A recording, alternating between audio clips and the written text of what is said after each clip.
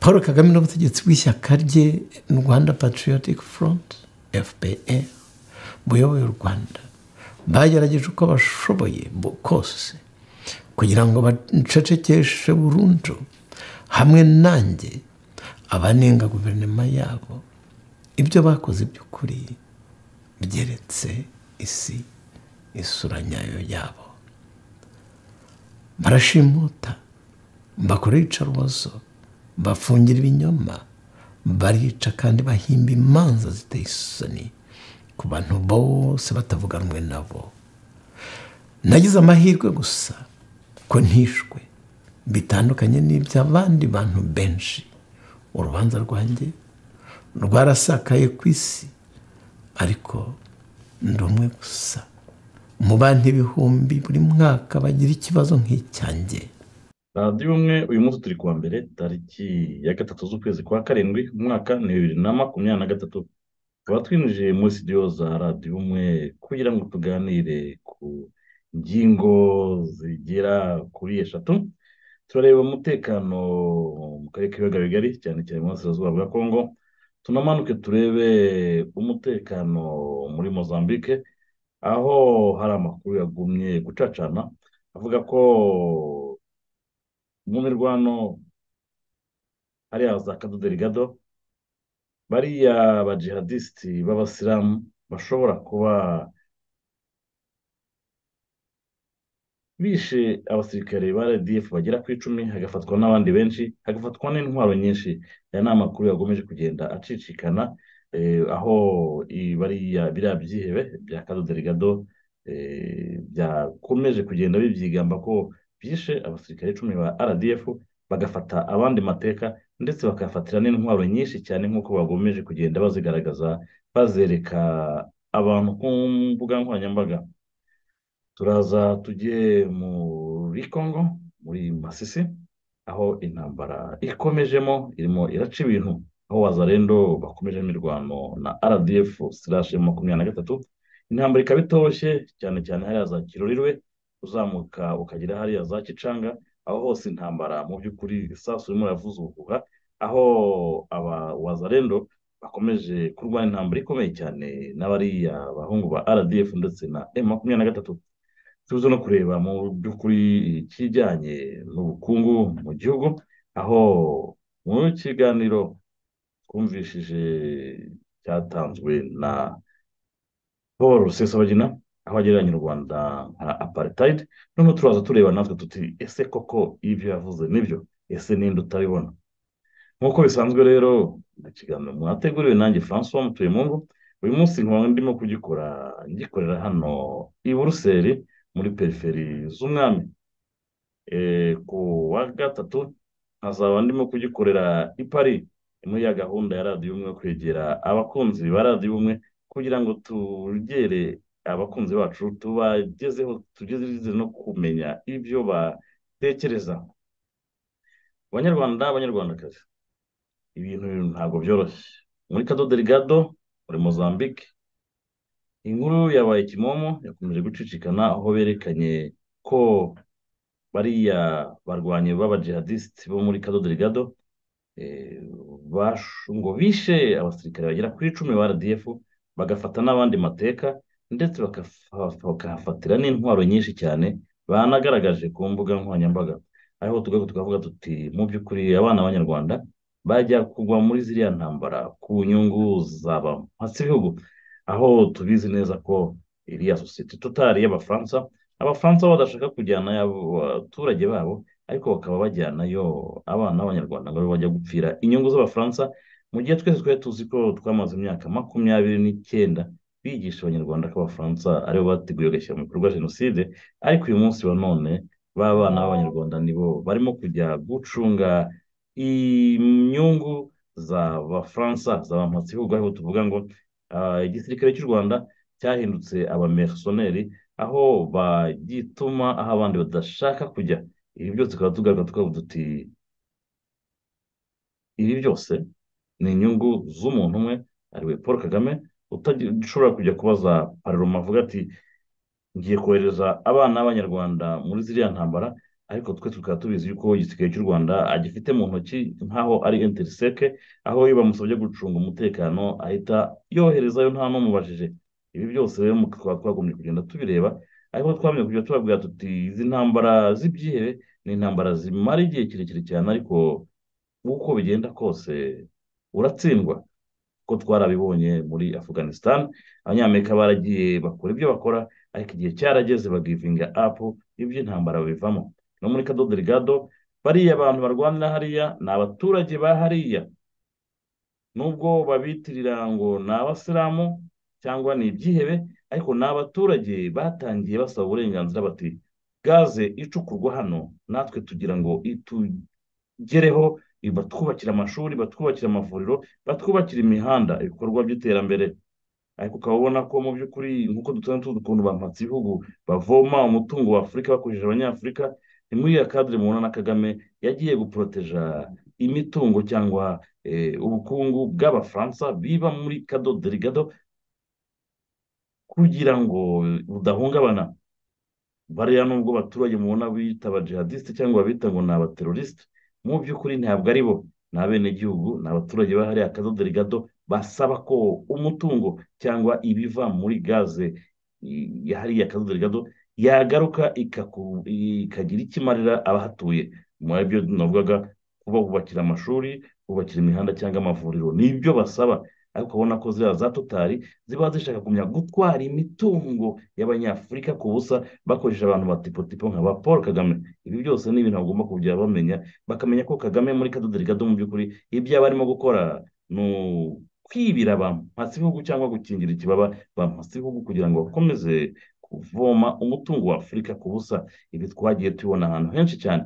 Sadeke iri hariya yagomba kujya gufasha mozambique iri hariya ariko kagame kujya hariya ni kwa gushaka kwihohora ku bafaransa yahoze atuka gushaka kwigira tipo tipo. Niba mwibuka tipo tipo ni wa mugabo wo muri zanzibar wagurishaga abirabura mu bucakara nawe niko ameze. Nimba amafatanyacyaha kugira ngo imari cyangwa gaze ya kadodo rigado ishyikirizwe mu maboko y'abafaransa biba bigaragara ko ari muri ya gahunda n'ubundi yo gufasha abamatsi ibihugu gusahura afurika akaba ari ibintu by'ubugwari rero rimwe na rimwe aho abaturage bari bandika uburenganzira bwabo ariko abanyagitugu bo bakabita amazina bashaka muri ya gahunda yo kugumya gukorana n'abamatsi ibihugu kugira ngo bagumye gusahura umutungo wa afurika nkaba navuga inti birabaje cyane kubona twaba twafushije abasirikare bagera kuri icumi n'abandi bafashwe mateka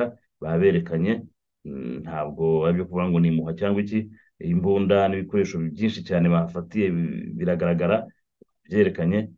Bigaragara ko iminsi iri imbere rdf muri gado derigado bitaraza kuyorohera. Tuzamuke tugaruke mu burasirazuba bwa congo ibintu ntabwo byoroshye. Intambara zimaze iminsi ibiri cyane cyane kuri linye de yo hariya muri masisi aho hariya za kirorirwe hari isasu aho umuzarendo arimo kurwana na rdf makumyabiri na gatatu bikazamuka bikagera hafi za kicanga n'umunsi ku wa mbere tuvugana intambara zaramukiyemo mu gitondo. Amakuru twakomeje kubona ni uko bitoroshye. Bitoroheye rdf kuko bari bayambuye hafi ibirindiro bigera kuri bitandatu. Ibi bikwereka ko mu by'ukuri intambara iri hariya muri congo umuzarendo ahihagazemo neza hakaba ari na cyo gitangaza kubona noneho fadese isa nkaho yo irimo kwitegura ariko ntabwo iri mu mirwano. Abo bita wazarendo ari zo za gurupe za auto defense zirimo guhangana na rdf makumyabiri na gatatu. Intambara rero yari ikomeye muri iki gitondo n'ejo hashize ntabwo byari byoroshye. Ibirimo bigaragaza ko mu by'ukuri izi ntambara za paul kagame yajyanye muri congo zitazoroha. Cyane cyane ko tuzi ko mu ijambo felix yavuze ejo bundi ku itariki ya mbere twese tuzi bibera umunsi wo kwizihiza isabukuru ya independence ya congo. Aho felix yavuze ati igisirikare cya congo ndetse na polisi kimaze kuzamura imbaraga ku buryo uzadutera azaba ari ukwiyahura. None turimo turibaza tuti niba rdf makumyabiri na gatatu aka kanya bahanganye gusa na wazarendo? Intambara zigiye kumara hafi ibyumweru bitatu dutangiye icya kane. Ukaba ubona ko RDF igumye kugenda ihagirira perite. Harimo n'abarimo bagenda bafatwa amateka n'ubundi ni umwaka urimo kugenda bagira aha tukibaza tuti fayidese ko tuzi ko yibitseho ibitwaro yiguze ibintu byose bishoboka iyi ntambara barimo bayitegura ese mu by'ukuri umuntu bita General Mubarak Muganga ari tayari kwinjira mu ntambara yeruye cyane cyane ko turimo kubona ko na wazarendo babamereye nabi hariya muri Masisi ndetse na za Rucuro. Ariko ibi byose tukaba tuvuga ngo ko Amerika yamaganye iyi ntambara? Ko abanyaburayi bamamaganye iyi ntambara bakavuga bati Kagame vanamo RDF yawe. We akaba agumyamo kunangira ibi byaba bihatse iki? Ariko ibi ni byo byose ni byo tujya tubabwira ngo ino ntambara hari amahirwe menshi ko izasubizwa aho yaturutse. Nkeka ko Felix yavuze ati hari umuntu wigize umufezeri de guerre wigize indwanyi kabomboro wigize rambo ariko this time bikaba bigaragara ko mu by'ukuri intambara yapanze yamunaniye. Kuko iyi ntambara twayitangiye tukagenda tubabwira twari dufite amakuru ahagije ko ya kongo bavogereye ya kongo b'akabarebe bavogereye itakiri ya kongo. Ibi byose tukaba twagiye tubyereka abanyarwanda ko izi ntambara paul kagame n'agatsiko bagiye gukurira abanyarwanda zizasiga mu kangaratete y'igihugu cy'u rwanda. Kandi koko ni mu gihe murimo murabona ko yaba un iramagana ingabo za rdf muri congo yaba amerika yaba umuryango w'i burayi abo bose bakomeje kwamagana intambara za paul kagame. Ariko ibi byose tukibaza ngo ba bajenerali mirongo itanu na bane bari hehe? Bemera kwinjira muri izi ntambara z'ubwiyahuzi babizi b'abakoloneli bari hehe magana angahe? Ba majoro tutazi umubare bari aho ngaho? Wibaza uti murajya muri izi ntambara mubizi neza ko kongo yibitseho ibintu nka biriya? Muzi ko ishobora no kuzabasubirana inyuma ariko ibi byose ni uko umwana w'umunyarwanda ari we uzabigenderamo abo mu gatsiko bo barangije kwigirira hanze. Aya makuru tugumya kugenda tureba ni uko abo mu gatsiko bakomeje kohereza imiryango yabo hanze cyane cyane abana babo hanze. Turimo turabona rwose muri canada barimo baraza ku bwinshi barimo baraza ku bwinshi n'ubwo banacomekamo na ba ntasi zabo cyangwa se abandi batojwe ubwicanyi. Murabizi neza ko kabari yavuze ati rubyiruko muhaguruke mupirakwira isi yose mwige kuneka mwige kuroga mwige kwica guhungeta abo bose batavuga rumwe na leta. Akaba ariho ngiye kubonamo no kuvuga ngo amakuru dufite ni uko muri canada hari gurupe y'abakobwa n'insoresore bagera kuri mirongo itatu bageze ku butaka bwa canada. Amakuru twamukomeje kubona tuvana muri rcmp akaba ari polisi ya hano muri canada. Ni uko bamwe basigaye vancouver abandi baza edmonton abandi bajya montreal abandi bajya toronto na ottawa. Ariko igishimishije muri ibyo byose ni uko bamwe mu baje ufite uruhare mu kujya kubacumbikishiriza mu miryango imwe n'imwe y'abitwa ko ari abakada ba fpr hari no edmonton. Twabimenye ayo makuru turayafite abana b'abakobwa n'abasore turabafite. Abenshi barangije kadete muri ino myaka itatu ishize mwakunze kugira mubona ko kadete z'imyaka itatu ishize zakunze kurangizwamo n'abana bava mu miryango ikomeye cyane cyane y'abahoze ari abasirikare bakuru cyangwa abategetsi bakuru. Akaba ari bo bana barimo kohereza mu misheni muri za gahunda ngo zo gucecekesha cyangwa guhungeta abatavuga rumwe na leta ariko amakuru tukaba twayabonye ko iyo gurupe yabo bantu mirongo itatu bari mu misiyo ni abasirikare mu by'ukuri abatari abasirikare n'abapolisi ariko barangije kadete abo bose aho basigaye muri canada babohereje abo bose barazwi amazina turayazi ndetse n'ababafashije cyane cyane nka edmonton nk'amakuru nabonye ni uko uwabafashije kujya kubacumbikishiriza mu miryango imwe n'imwe yitwa ko ari abakada ba fpr. Abo nawe twaramumenye kandi. Amakuru turayafite nk'uko rcmp yabitugejeho ngo twitonde hari iyi gurupe y'abagizi ba nabi bagera kuri mirongo itatu binjiye muri canada bakaba dushobora no kubidantifiya no mu mafamiye bagiye kubacumbikishirizamo ibi byose rero nkaba navuga ngo banyarwanda baba ba edmonton mumenye ko twinjiriwe baba aba vancouver mumenye ko mwinjiriwe aba montreal ottawa na toronto. Ariko ibyo byose ni uko amazina yabo yose uko ari mirongo itatu turayafite ndetse n'ababafasirita cyangwa ababafasha mu gucengera no kugerageza kuba hafi y'abo bashaka kugirira nabi cyangwa guhungeta ibi byose rero ni ibintu bikurikiranwa twongere tubabwire ngo bitonde kubera ko ibyo barimo tubari runono tugaruke mu gihugu cy'u rwanda. Mu gihugu cy'u rwanda aho hari ikibazo kirimo kugenda kigaragara. Mu rwanda turimo turagenda tubona ko ibibazo bikomeye kugenda bigaragara. Nyuma y'ijambo rya paul sesabagina aho yagereranyije u rwanda nk'igihugu cya apartheid gikoresha apartheid ndetse aho abantu bahimbirwa ibyaha bagafunga babahembiye ibyaha bashaka bitewe n'inyungu za politike aho abantu bamburwa ibyabo aho abantu mu by'ukuri babayeho nk'aho ari abacakara. Yageranyije nk'aho ari apartheid. Aha ni ho twongeye tuvuga tuti kuri radiyo umwe ese twe turabibona gute? Ese koko ni apartheid?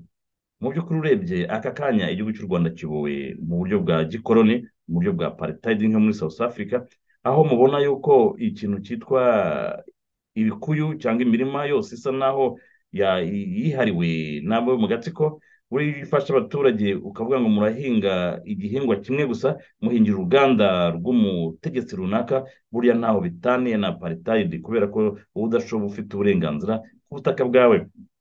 Ese ku bijyanye no gucuruza bigenda gute? Hacuruza abo mu gatsiko gusa abandi bose bambuwe ibyabo abacuruzi bose bambuwe ibyabo abandi barica baricwa abandi baburirwa irengero. Ibi byose na byo mu buryo bwa apartheid ni uburyo bukoreshwa kugira ngo abo mushaka gucinyiza cyangwa gucisha bugufi batazigira bazamura umutwe.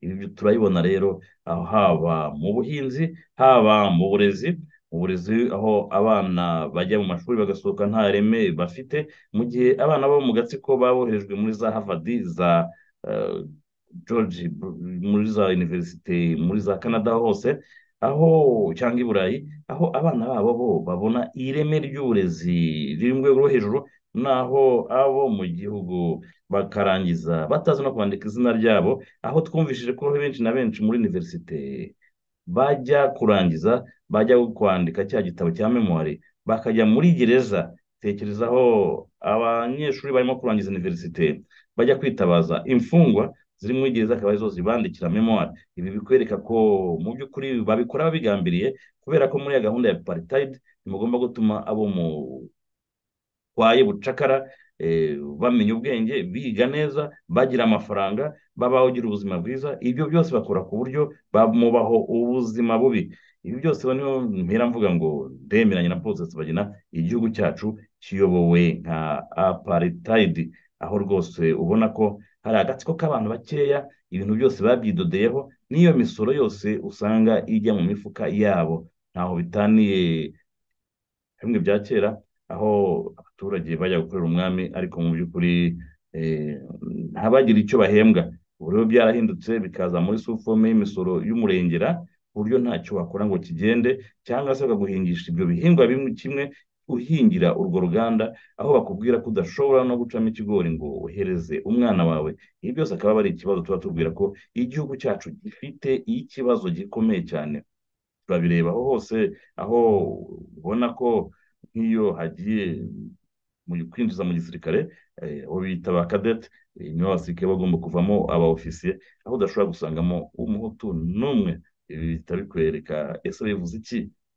Impamvu ni iyi. Ibi byose ni byo bikwereka ko iyo ujya kubaka apartheid hari igice kimwe ugomba kubanza ugaheza. Kandi urebye ubukene buri mu rwanda hari abandi hari agatsiko gatoya rwose k'abantu bakeya bigwijeho imitungo ku buryo ubona ko babayeho neza rwose ibintu bimeze neza rwose. Wibaza ukibaza uti aba bantu tuba mu gihugu kimwe? Aho mu gihugu cyacu hari igice agace gatoya k'abantu babaherwe rwose hakaba n'igice kinini cyane hafi nka mirongo icyenda ku ijana cy'abantu ba nyakujya bambara ubukeye kubera ko ntacyo baba babona kubera ko n'izo sareri baba n'abahemba ntacyo ziba zivuze. Ibi byose tukaba tukavuga tuti ni ukubera iki? Ese byaba ari ibintu byabagwiririye? Ntabwo byabagwiriye kubera ko ibi byose biri muri gahunda. Gahunda y'ubutaka ni gahunda bariya bagabo muri fpr bari bafite kandi ubona ko bagenda bayishyira muri gahunda yo kubambura mu buryo bitwaza itegeko aho bagenda bagasurisha ubutaka n'ibyeramo bidashobora gutanga uwo musoro. Mu by'ukuri iyo udashoboye kuwishyura umwaka umwe ibiri itatu n'itanu itandatu icumi bizaba bivuga ko bwa butaka uzaba uruzinga bugasigara ari ubwa leta. Leta ninde ni ba bantu bo mu gatsiko bamaze kwigwizaho urebye ibikingi n'ubutunzi bwose mu gihugu. Ibi byose akaba ari byo nkeka ko paul rusesabagina yaba yaragereranyije na apartheid. Ku bijyanye n'ubutabera byo turabizi ko badoda ibyaha bitewe n'icyo bashaka kugeraho. Ibi ni ibintu tuzi cyane abantu bamenyereye. Cyane cyane ko muzi ko mu rwanda noneho haje na cya kintu bita ngo gutekinika n'ibyaha rero barabitekinika iyo utavuga rumwe nabo. Turebe mu bijyanye n'ubucuruzi. Twese turabizi ko fpr yaje isanga hari abacuruzi bahoze mu rwanda abo bose yarangije kubambura irabica irabangaza. Ntawe utazi abantu nka ba rwigara eh, banafashije fpr rwose gufata ubutegetsi. Yari umucuruzi ukomeye cyane. Utazi abantu nka ba eh, uriya mucuruzi bitaga eh, kaje guhakwa abo bose ibintu byabo byatejwe cyamunara barafungwa bagira gute? Ntawe utazi abantu ntawe ut- ni benshi cyane twavuga abacuruzi bahozeho ndetse kurangije kumva ko murabona nk'abantu bahoze bafite iriya sorasi eh, kwa Mporanyi mwarabonye ko ibyo byose barateje amamiliyari. Kagame arangije ati amateka ni igitangaza impapuro za tarafipuro ndacyazifite. Ariko mu by'ukuri yabyitwaje kubera ko Mporanyi yize kuba umuyobozi wa tarafipuro akaba yashaka kwerekana ko amafaranga ariho yayavanye. Ariko mu by'ukuri twese turabizi Mporanyi ashinga iriya sosiyete d'assurance nuko yagiye azamuka ntawe utabizi urumva ko Kagame yashaka uburyo bwo kugira ngo azabone uko atwara iriya mitungo yiwe yitwaje ngo tarafipuro yari iya se. Ariko nk'ubu bantu twabibonye eh, mu by'ukuri papa wa Kagame ari we Rutagambwa kuvuga ko ari mu bashinze tarafipuro yababeshye kuko tarafipuro yashinzwe n'abarimu.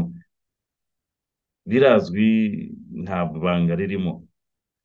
Turagaruka turebe mu bijyanye n'uburezi. Ese mu burezi buriya kubera ibiki babikora kuriya? Ni gahunda zabo. Kugira ngo niba uko bazagenda basoza mu butegetsi bazasimburwe n'abana babo. Ibi byarabaye mu gihe cy'ubwami ubwo yari akimara kuza hakaza amashuri y'indatwa higagamo abana b'abatutsi abana b'abatware gusa.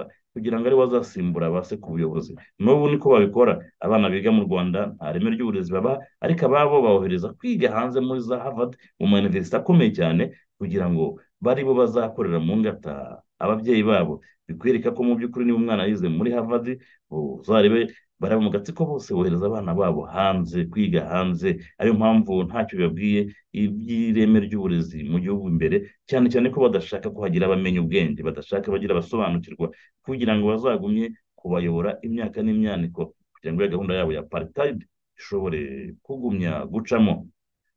Twongere tugaruke turebe ku kibazo hari inama yagomba guhuza abatavuga rumwe na leta. I Kinshasa itarashoboye kuba ariko se ni iki buriya byerekanye nkeka ko harimo insinzi nkeka ko harimo insinzi kubona abo bantu cyangwa imiryango ijya kugera kuri za mirongo itanu na bagombaga kwitabira iriya nama ni ubwa mbere nkeka ko bibaye byerekana ko abanyarwanda banyotewe n'impinduka kandi bazitabira impinduka ku bwinshi iyi ni intsinzi kuko bigaragara ko buriya n'amahanga kuko ibi byose turabizi ibyo tuba tuvuga eh, yabonye ko hari opozisiyo ikeneye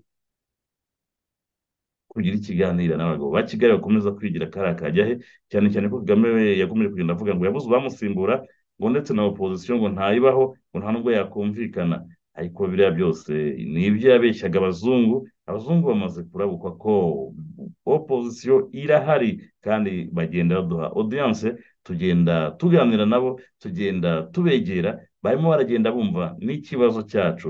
Ariyo mpamvu mvuga ngo Kagame na FPR ntabwo bazongera kubeshya amahanga babeshye abanyarwanda ariko this time ntabwo bizakunda kubera ko ikinyoma kigenda gikubitirwa ahakubuye bikaba bigaragara ko iyo nama kuba itanabaye ni ibibazo byajemo ni ibisanzwe kuba inama yasubikwa ariko izanaba kuko hagati aho ngaho ntabwo ari iyo nama gusa hari n'izindi gahunda nyinshi zitandukanye aho mu matsinda mu mashyaka muri za sosiyete sivile aho tuba dukomejemo gahunda zo kwegera ibyo bihugu byakomeje kugenda bikingira ikibaba. Paul kagame na sisiteme yiwe tubereka ko ibyo bakoze ari ukugambanira abanyarwanda kandi koko bakaba batangiye kugenda bumva koze zacu. Ariho nkavuga ngo banyarwanda abanyarwandakazi fpr ntizongere kubabeshya ukundi. Imishinga yayo yari icyuka uretse kuza gutwara ibya rwanda no gukorera agatsiko k'abantu batoya bakeya kandi byigaragaza ariho bamugane nk'uko posite agenda yavuze ati ni apartheid. Ni apartheid kubera yuko mu rwanda hari ubusumbane udashobora kureba. Hari abantu bakeya bagashize bafite amafaranga bafite batunze bakagira n'ibyamenyenge ku ntenyo hakaba n'abandi bicira isazi mu maso. Nk'uko turimo kubibona muri ino minsi ubukene mu rwanda buranuma imipaka isa nk'aho ifunze barimo barinjira mu ntambara ibyo byose bitera ubukene. Iyo ubigenzuye neza urabona ko mu by'ukuri kagame na fpr nta kindi bazasigira abanyarwanda uretse agahinda n'amarira n'amaganya. Uretse n'izo ntambara n'ubukene bumereye nabi abanyarwanda inzara irimo iravuza ubuhuha ariko bo mu gatsiko ntacyo bibabwiye icyo bareba bo n'ibyo bavanamo kandi koko ni mu gihe twongera tubabwire ko dufite ikibazo gikomeye cyane abanyarwanda abanyarwandakazi tumaze iminsi tureba amadeni igihugu cy'u rwanda gifite aho kimaze kugeza kuri biliyoni zirenga ibihumbi bitanu twarakarikiriye turabara dusanga byibuze buri mwana w'umunyarwanda avukana ideni ry'amadolari magana arindwi. Ni ukuvuga ko buri mwana w'umunyarwanda uvutse uyu munsi avukana ideni rya miliyoni zirindwi. Ayo mafaranga yagiye he? Ari mu gatsiko n'abana babo n'imiryango yabo ariko buri munyarwanda wese uvuka agomba kuzishyura ayo mafaranga kubera ko ayo mafaranga igihe azajya kwishyurirwa ntabwo bariya abagabo bo muri fpr bazaba bagihari abenshi bazaba barashaje abenshi bazaba barapfuye ariko ayo mafaranga yose bagujije mwibuke ko bayatungisha imiryango yabo bakayohereza muri za amerika bakigurira amazu bakayohereza muri za burayi bakigurira amazu bakayohereza muri za canada bakigurira amazu. Ubundi amadeni akazasigara ku mutwe w'abana b'abanyarwanda. Ahangaha ni ho ngaho nkavuga ngo banyarwanda abanyarwandakazi muhaguruke mutekereze iki kintu. Buri mwana wese w'umunyarwanda uvuka uyu munsi avukana ideni ry'amadolari magana arindwi bishaka kuvuga miliyoni zirindwi z'amanyarwanda. Mwibaze ku icyo kintu. Buri mwana wese uyu munsi w'umunyarwanda uvuka avukana ideni ku mutwe rya miliyoni zirindwi z'amanyarwanda. Ahangaha ariho tugaruka tukavuga ngo ibi bintu bizagarukira hehe ibi bintu mubibona mute? Ntabwo ari ibintu byoroshye cyane turimo kubona turimo turabonaho bari abantu mu gatsiko bo bagumya kwifatira za biliyoni za biliyoni byagira mu mifuka yabo bakohereza imiryango yabo hanze kugura amazu kukwemvesitisa cyangwa kuyahisha mu mahanga. Mu gihe ayo mafaranga azasigara yishyurwa n'ayandi rubanda nyamwinshi y'abakene. Ahangaha abantu bagomba kumva neza bishoboka gute ko umwana w'umunyarwanda yavukana ideni ry'amadolari magana arindwi? Ukivuka. Ibi ni ibibazo abantu bagomba kuzatekerezaho tugatangira kureba tuti amafaranga ajya hehe yagiye he? Ubuhinzi barabwishe kandi babishaka? Kugira ngo abaturage bishwe n'inzara bazabure gusa ntazagire utekereza icyo abaza abantu bajya bahoza batekereza icyo kurya. Ubucuruzi barabwishe bwose barabwitwarira babwihera abana babo nabo ubwabo. Edikasiyo barayica babigendereye babishaka kubera ko abana babo batwara hanze ubona ko muri domene zose fpr ari gahunda ari umushinga wari ufite yo kuzagarura cyangwa kuyobora mu kintu kimeze nka paritayidi aho hari abantu bakontorora byose agatsiko k'abantu bakeya abandi bose bakaba nk'aho ntacyo bibabwiye bapfa badapfa ntacyo bibabwiye. Abanyarwanda nkaba mvuga ko ari ahacu gutekereza no guhaguruka tukarwanira uburenganzira bwacu tukamagana iyo aparitayidi kubera yuko nitutabikora. Tuzaba abacakara tubyara abacakara n'abo babyaye bazaba abacakara. Niho birimo byerekeza kuko mu myaka iri imbere cumi cumi n'itanu makumyabiri nta muturage uzaba ugifite ubutaka buzaba bufitwe n'abari mu gatsiko barabusigaranye bonyine bagarura ibikingi n'abana babo bazabasimbura ku butegetsi kubera ko ari bo bajya mu mahanga kwiga mu mashuri meza noneho uzasange mu gihugu cyacu dufite ba bacakara bazabyara abacakara nabo bazasiga bakazaba abacakara. Iyo niyo gahunda irimo kandi ibagejeje kure si ukuvuga ko ari ibyabagwiriye ni ibintu byateguwe neza. Abanyarwanda rero nk'uko nabibasezeranyije tuzajya dukora ikiganiro gitoya. Nababwiye nti uyu munsi nagikoreye hano i buruseli nari nasuye abakunzi ba radiyo ubumwe. Ku gatatu nzagikorera i Paris naho nzaba nagiye gusura abakunzi ba radiyo ubumwe. Tukaba turi kumwe mwese bakunzi ba radiyo ubumwe mukunda radiyo ubumwe kandi mugumya mutugezaho ibitekerezo byanyu. Mwari kumwe nanjye francois mutuyemungu ku buyobozi bwa radiyo ubumwe.